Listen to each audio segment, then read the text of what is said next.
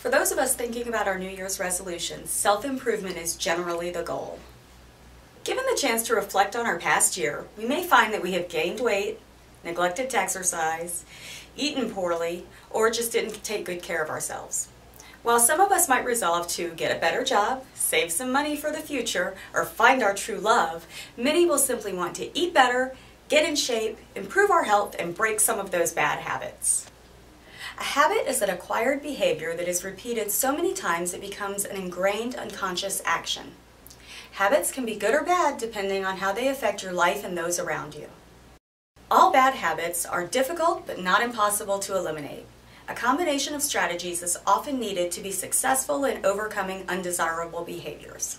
Recognition is the first step on the road to good intentions.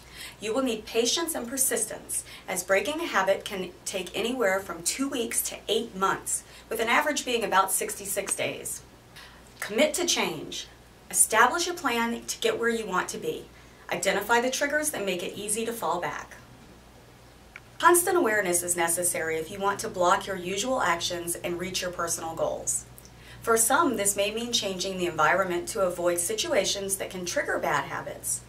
Having a friend or a loved one to support and share your goals provides both motivation and accountability.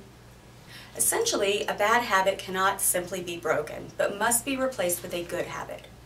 We are most likely to give in to old habits when we're tired, hungry, bored, or sad.